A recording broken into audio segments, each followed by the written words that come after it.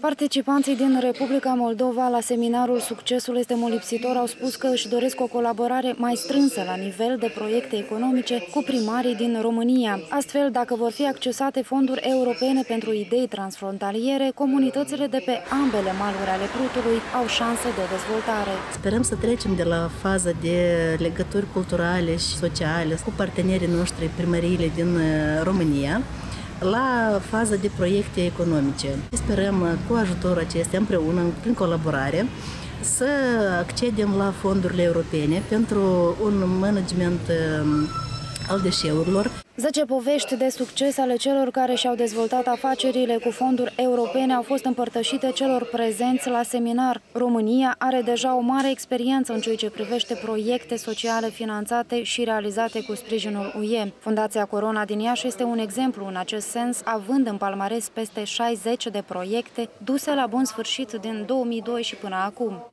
Sperăm că în viitorul apropiat să putem anunța deschiderea unui proiect uh, de o dimensiune foarte mare, care înseamnă înființarea 40 uh, de startup-uri care vor primi finanțări de 40.000 de euro fiecare.